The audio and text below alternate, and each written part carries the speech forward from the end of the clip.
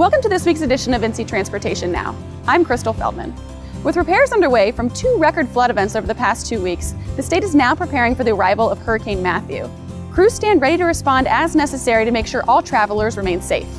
In another important safety effort, on Monday, Transportation Secretary Nick Tennyson announced a new initiative that brings together multiple agencies and stakeholders to engineer safer roads, educate all road users, and enforce life saving traffic laws with the ultimate goal of eliminating deaths on North Carolina's roadways. The immediate goal of NC Vision Zero is to cut roadway fatalities and serious injuries in half in the next 15 years, with a long term target of zero deaths on North Carolina roadways. Over the past 10 years, we've achieved 148 zero fatality days, including several consecutive days. And again, just to talk about the possibility of this, this is, this is definitely an achievable goal, the cutting them in half, because we're down almost 4% for the year this year. If we can keep that up, then we definitely would more than achieve cutting by half. More information about NC Vision Zero can be found at ncvisionzero.org.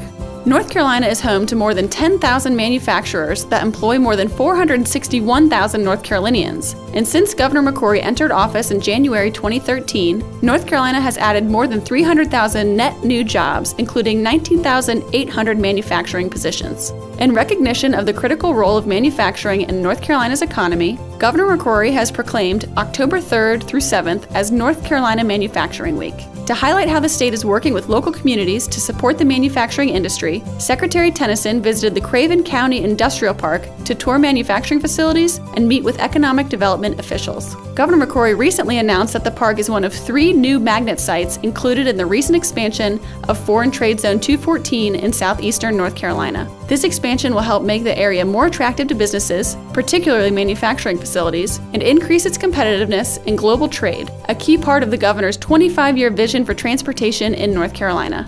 On Wednesday, students from across the state participated in International Walk to School Day, a global event that involves communities from more than 40 countries walking and biking to school on the same day. Secretary Tennyson joined nearly 200 students, parents, and community members who walked to Conn Magnet Elementary School of Entrepreneurial Design in Raleigh, which hosted North Carolina's statewide celebration. Walk to School Day helps raise awareness of the need to create and utilize safer routes for walking and cycling, while also emphasizing the importance of physical activity, pedestrian safety, reducing traffic congestion, and environmental stewardship. Numerous schools throughout North Carolina participate in this annual event.